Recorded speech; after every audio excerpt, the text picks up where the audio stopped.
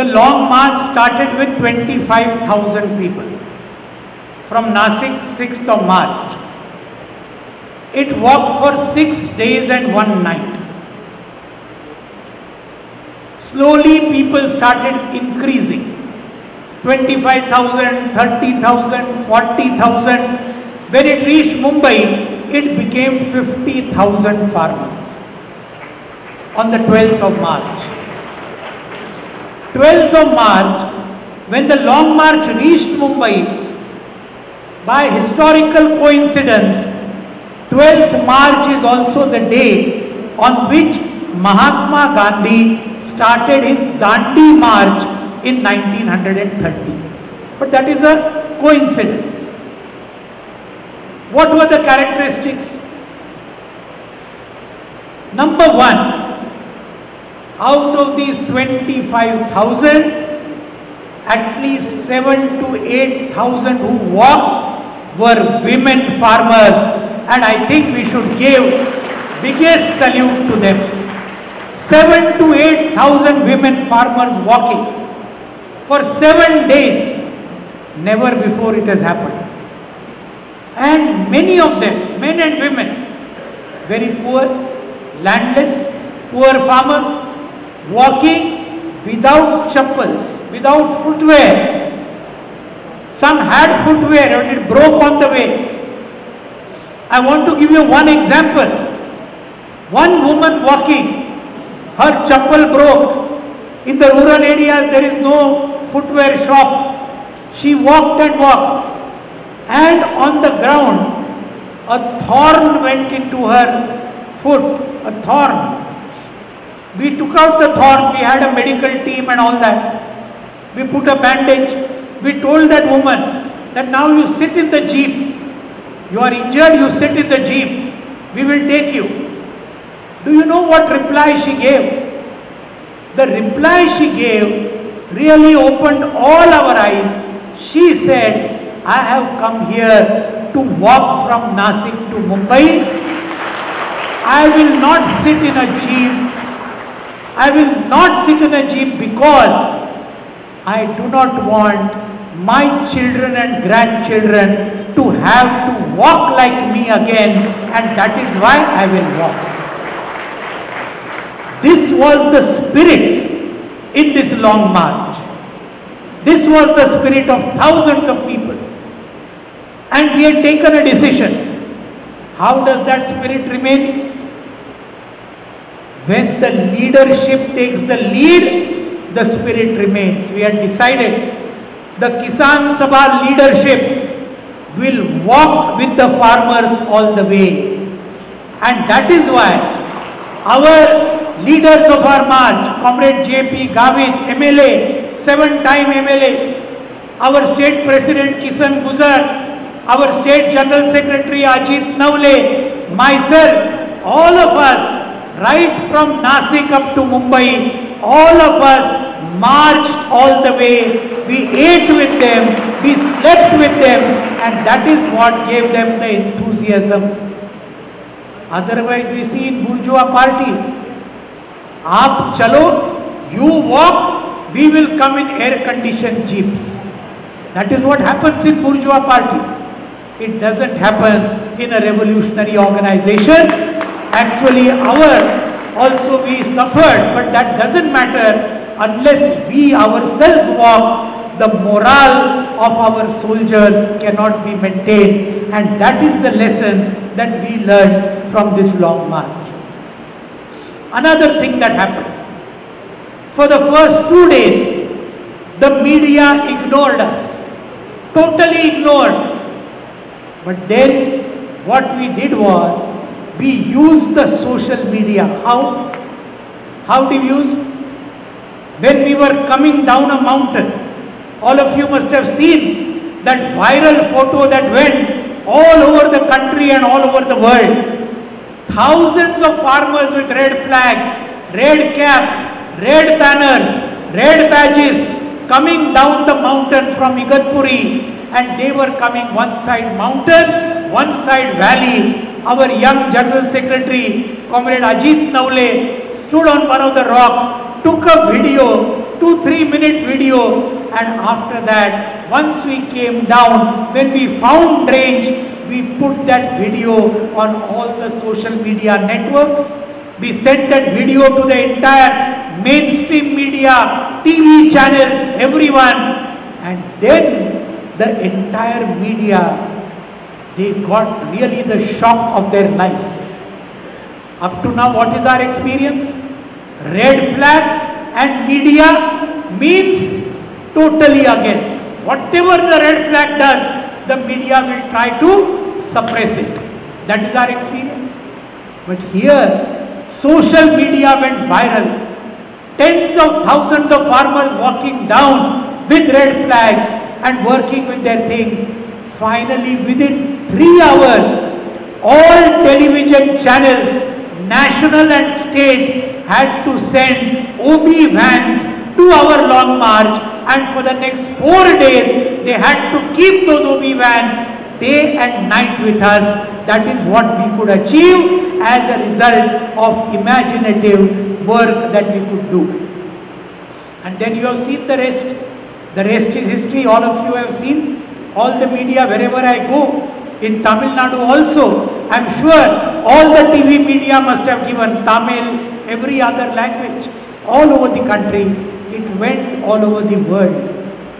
That was a good thing. The march went. For me, what is more important, the name of the All India Kisan Sabha was flashed all over the country and all over the world. The organization matters more than its leaders. That is what all of us have been taught by leaders like Comrade B.T. Ranadive, Comrade P. Ramamurthy, Comrade Jyoti Basu, Comrade EMS and all others. So therefore, the organization became popular all over the country. Like the Rajasthan struggle also, the All India Kisan Sabha gained popularity, so also the Long March did that. Another thing that happened, when we reached Thane and Mumbai, when all this went viral, Media took note. Two more things happened. Number one, there was tremendous support from the public, from the people of Thane and Mumbai. By that time they had seen thousands of farmers are walking, men and women, poor, without chappals. And there we saw a scene which I have not seen in Mumbai, although I have been staying there for the last 40 years of my political life. Never I have seen thousands and thousands of people, the working class, the middle class, students, youth, women, Dalit, Muslim, Christian, Hindus, everybody came to welcome this long march. They did not come with empty hands. They came with bottles of water. They came with packets of biscuits. They came with packets of food. And most important, what we will never forget, they came with new pairs of chappals for those who did not have chappals. Thousands of pairs of chappals were given free of cost to those women and men who were walking barefoot. This is one thing that happened. Another miracle that happened. Another miracle. And that miracle was when we reached Thane city and Mumbai, all the political parties except the BJP, which had never before come for any program of the red flag or the Kisan Sabha, they made a queue to welcome the All India Kisan Sabha march and we found to our great surprise, Congress leaders, NCP leaders, MNS, this Raj Thackeray himself came, Shiv Sena leaders, the son of Uddhav Thackeray, he marched with us in the long march for some time. Now Shiv Sena is part of the BJP Sena government. You know, they are part of the government. But they declared full support to the march. Their paper Samna, they gave maximum coverage to the march. Of course, there was a political reason. They wanted to get even with the BJP. They wanted to throw the BJP down and show that they are the champions of farmers. All these politics we understood. But we said, doesn't matter. Whatever who is coming, it's a mass organization. Whoever is coming is welcome to extend support. But through all this, whose name went in all the newspapers? The All India Kisan Sabha. Whose victory was it? Some of our own comrades asked us, how did Shiv Sena come? How did MNS come? How did Congress come? How did NCP come? They are all our class enemies. We told them, yes, right, they are all our class enemies, no doubt about it. But they have come to our program. We have not gone to their program. That is our victory. That is the victory of the long march in Maharashtra. That is what we explain even to our comrades. So we should not be sectarian. Politically we are enemies even now. We are enemies even now. But we should not be sectarian. That is one lesson that we learned in this long march. That is one. One last point and then I will come to the conclusion. I think the most glorious moment of this long march, what was it? Two, three days before, we came to know that on the 12th of March, the last day that we are going to march from one end of Mumbai to the other, that was the day of the 10th standard final examination. SSC board examination. We realized Immediately we took a meeting of the Kisan Sabha office bearers. We said if we march from morning to evening, entire traffic of Mumbai will be disrupted. Lakhs of children going for their 10th standard exams. There will be huge traffic jams. All the roads will be closed. The students cannot go for their examination. Two papers were there, 11 o'clock and 3 o'clock. Once they cannot go for their exams, final board exam, they would not have lost only the examination, they would have lost one complete year. The Kisan Sabha decided two days before, we will not disturb their exams. They are our children as much as the children of Mumbai residents. And we decided we will take out that last march in the night on the 11th. 11th March, we woke up at 6 o'clock, marched the whole day, reached Mumbai in the night, and we said we must take democratic sanction for this decision. So we took a meeting at that Somaiya Maidan in Ghatkopar. 40,000 farmers gathered. Comrade J.P. Gavit he took a public meeting, all of us were there, and he said, this is the situation, tomorrow are the exams, there is only one way, we have to reach Mumbai on the 12th, only one way is to walk through the night because these children are also our children. We don't want them to miss their examinations. And I will tell you, he asked, what is your opinion? Those who are in favor raise their hands and it was a very, very proud moment. 40,000 hands went up unanimously and they said, we will take rest for one, one and a half hour. At midnight, we will start walking. We walked by 6 o'clock in the morning. We reached our final destination. No examinations were disrupted. What happened as a result of it? we got tremendous support and sympathy of the people not only of Mumbai, all over Maharashtra, all over India, this matter went that the farmers did this to see that the students don't lose a year. And this was, I think, the most glorious moment of this long march.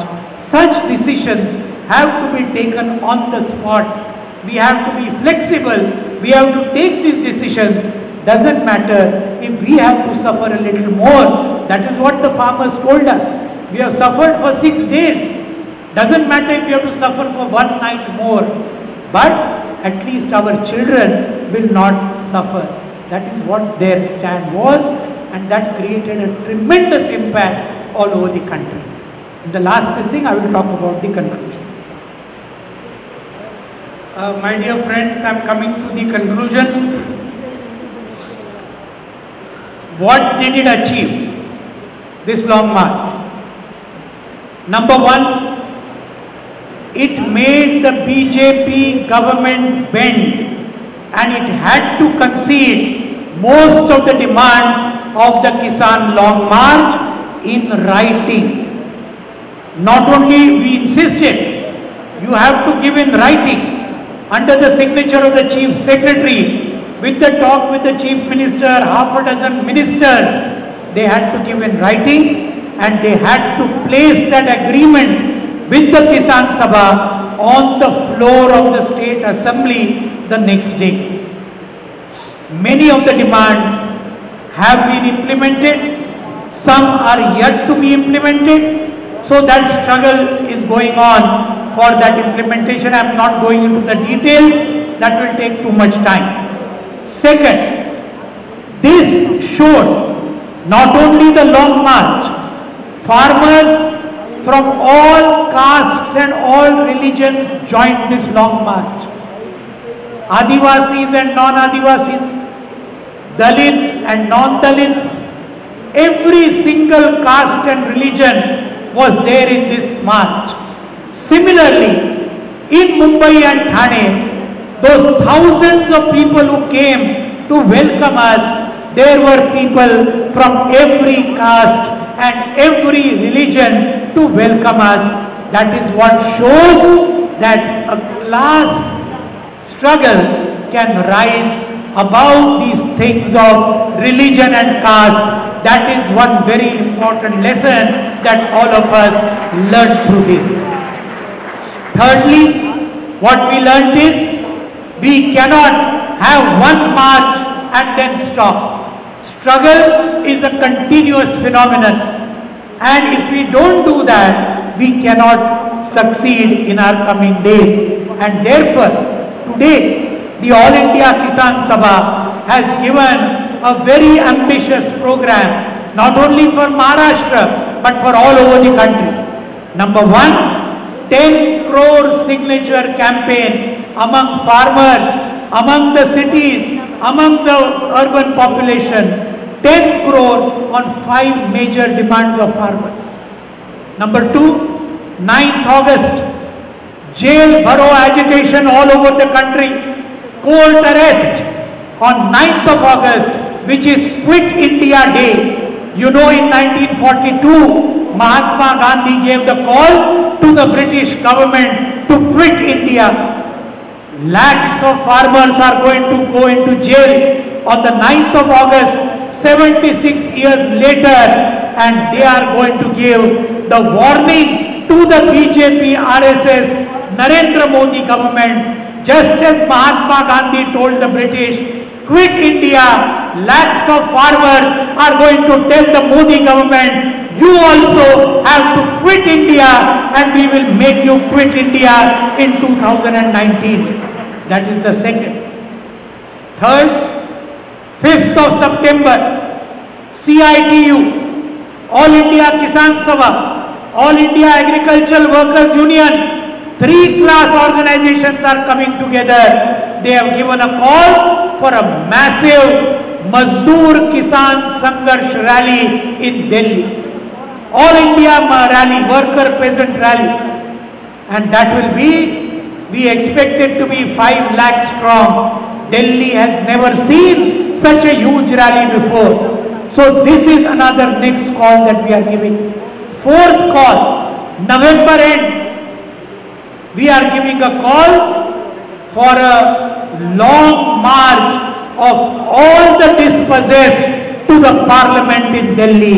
That is we, a long march not in Mumbai itself, all over the country, there will be a huge long march from 10 directions in Delhi to the parliament to demand a three-week special session of parliament to discuss nothing but the agrarian crisis in India, which is the most serious thing that the country is facing up to now. So these are the four programs that we have already given a call for. I appeal to all of you. I sincerely appeal to all of you to take part in these programs. Wherever you can. If you cannot take part to support these programs, financially also they require help and therefore financially, personally, physically take part in all these programs and make them a success for two reasons. Number one, the Modi government, which is the most anti-farmer, anti-worker, anti-people, pro-corporate, pro-imperialist, most communal, most casteist government in the history of independent India has to be defeated by all of us together.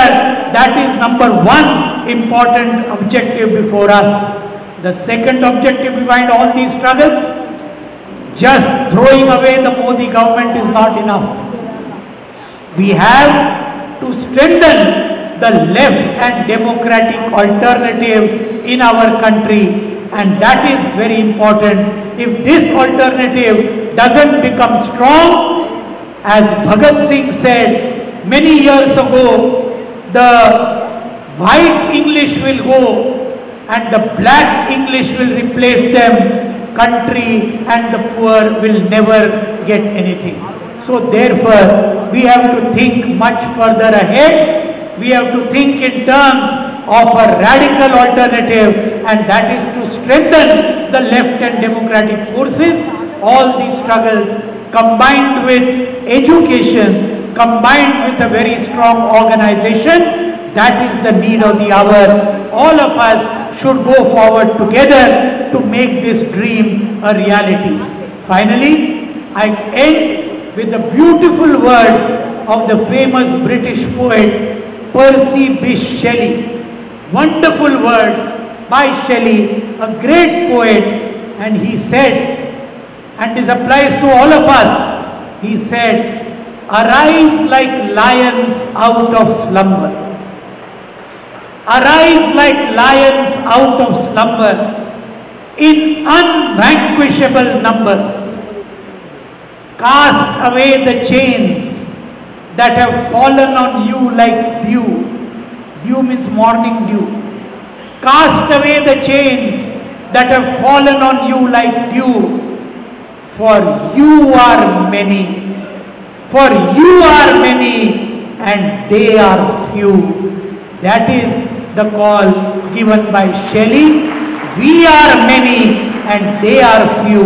All of us if we come together, the future is ours and the future is a future of socialism. There is no doubt about this. With these I conclude. Thank you very much. Long live revolution. Inqilab Zindabad. Thank you.